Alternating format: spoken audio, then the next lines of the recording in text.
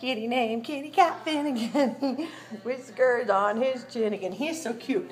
He sits down in his carrier on the floor if we don't lift him up. So I moved his carrier up here to make him come up. And then he's so cute. But you gotta pull him out and insist on it. I insist you're so cute. I insist on it. Finnegan! Begin again. McFinnegan. You're so cute. What are you doing? You give me a headbutt? Come on. You know you want it. Come on. Excuse me. Headbutt. Where's my headbutt? Can I have a headbutt? You're so cute. Are you going to get back at that dumb carrier? All right, come here. Kitty Cat Finnegan. Kitty Cat Finnegan. Come here. You know you want to headbutt me. Come here. Where are you going? Oh, back down. You want to walk around? You can walk around. Come on. So it was down on the ground, and I just moved it because nobody wants to sleep on a little tiny floor. Finnegan, you got a whole room to play in.